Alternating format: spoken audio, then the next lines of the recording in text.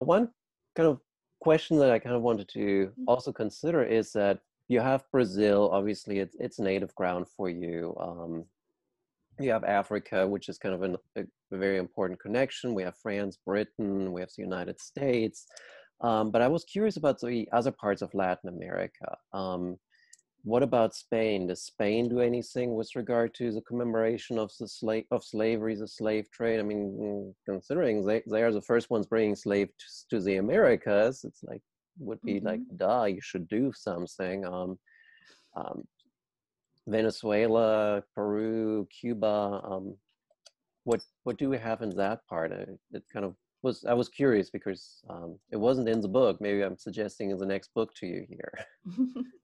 yeah, I had in the in a previous book of 2014, I had a chapter that dealt with uh, these monuments celebrating slave rebels, and many of them they are in the Caribbean. Mm. And I would say that the British Caribbean and um, especially then, and also Cuba, uh, these are places where uh, there has been commemoration associated with uh, slavery and the Atlantic slave trade. Uh, then uh, in Cuba with the, the revolution of 1959, when uh, the symbol of the slave rebel is associated then with the, the mm. spirit mm. of the, the revolution. Then in a number of um, the monuments uh, were unveiled. Uh, there are, of course, uh, plantations that became uh, museums as well. We have that in the Dutch Caribbean.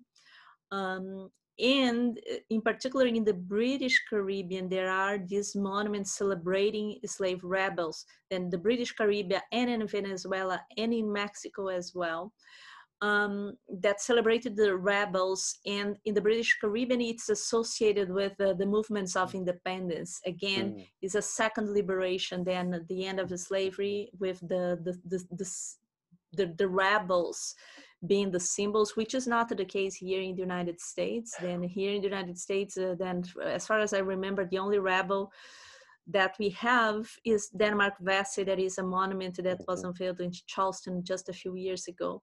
Then there is this commemoration, there, there are holidays, there are festivals, I would say, in the Caribbean.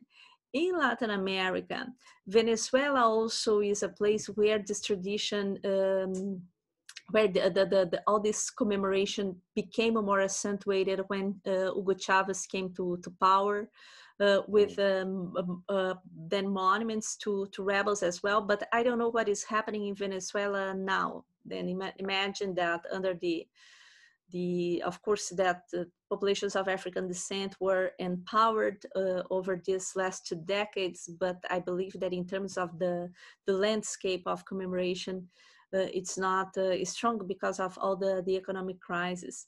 I don't know what is happening in Peru.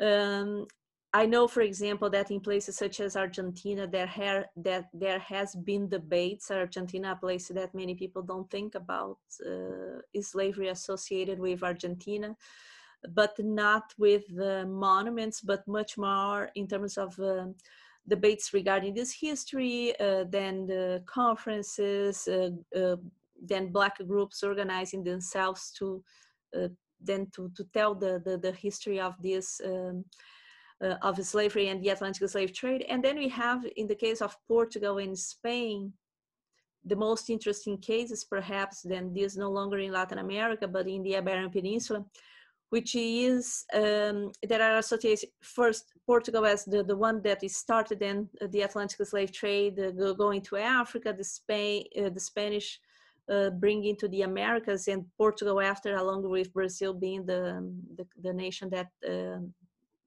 then imported the largest number of enslaved Africans, then uh, almost uh, 5 million. Now, Spain is interesting because there is uh, a monument, and I think that this is in the book. There is a monument that was of a slave trader, which was removed then about uh, two years ago. Uh, then this is an interesting. Uh, then it was part of all that wave then uh, that we see in uh, Britain, in South Africa regarding Rhodes must fall. Then mm. it was by that time, I'm not saying that it was associated, but it was by that time that the monument was removed.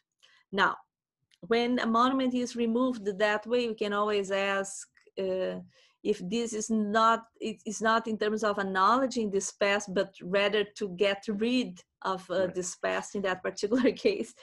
Uh, in Portugal, it's interesting because there are there were several debates and uh, interventions this summer with uh, the, the existing monuments, especially one of the um, Jesuit priest that was unveiled just a few years ago. But uh, Portugal is slowly recognizing this past. Five years mm-hmm. ago, it was not the case. They discovered now a cemetery in Lagos that is uh, was a, a first uh, one of the first sites where enslaved people from Africa were brought then to the Iberian Peninsula. Then there we had a, an auction and there was a, a, cemetery that is not a cemetery, the name, it was a sort of, um, then, um, then uh, it was a sort of trash where the people were the, the, the bodies were disposed and this was discovered a few years ago they didn't do anything with that uh, but they unveiled a museum that is uh, where the this marking then where the, the slave market was. Mm. And in Lisbon, as a result of the activity of uh, activists uh, then organized around associations, there is a memorial that is going to be in Lisbon, not in a hidden place, not in a distant neighborhood. It's going to be then uh, along the then the then facing the the river and mm. this is a mon uh, this is a memorial that there was a contest is going to be uh, financed by the city and uh, the population voted for the design of the memorial and the population voted to give to allow uh, to give uh, to how can i say to have a budget for that particular memorial but of course as everywhere this is one of the forces in play but i would say that there is progress being made that wasn't there five years ago. Yeah. Well, that's great.